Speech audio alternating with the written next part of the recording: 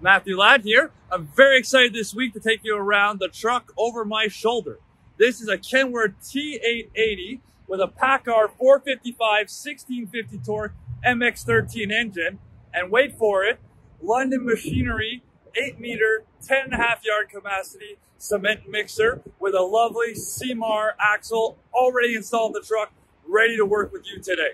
Let's take you around the truck, give you a full 360 tour inside and out.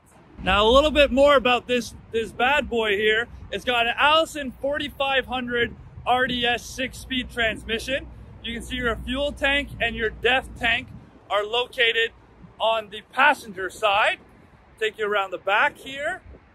See all your equipment is already there for the mixer. Once again, it's an eight meter or 10 and a half yard capacity. And on the driver's side, you have your ladder to access the mixer. You also have this CMAR fixed axle on the truck. And we will step in here and I'll show you the inside of the truck. There's your Allison transmission, your Kenworth digital dash, and your controls for the mixer, which also includes this remote control, so you can control it on the outside of the truck.